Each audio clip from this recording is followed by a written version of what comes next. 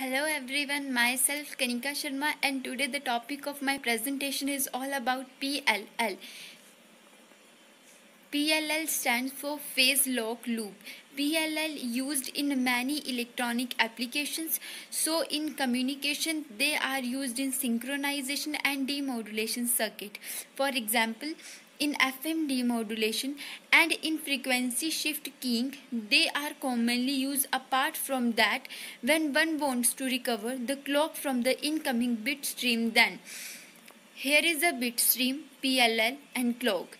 Using PLL it is quite possible. Moreover in communication for the jitter reduction the PLL is commonly used this is a basic block diagram of PLL. At input side, Fin is FM modulated signal that will give to a phase detector. Now phase detector is having two inputs. One is FM modulated signal and second is the output of VCO, voltage controlled oscillator. The phase detector circuit is that someone similar to multiplier where we getting two inputs Fin minus F naught, f in plus F naught. These two frequency components having information which is related to FM modulated signal. When you pass signal through low pass filter you will get f in minus F naught and amplify it will give a modulated signal.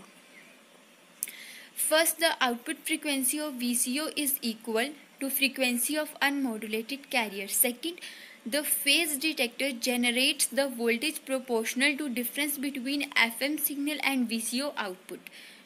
Third, then output of phase detector passes through low pass filter and amplifier. Fourth, here frequency correction is not required at VCO as it is done at TX. Next, the applications of PLL.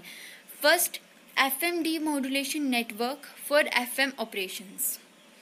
Second, it is used in motor speed controls and tracking filters. Third, it is used in frequency shifting decoder for demodulation carrier frequency.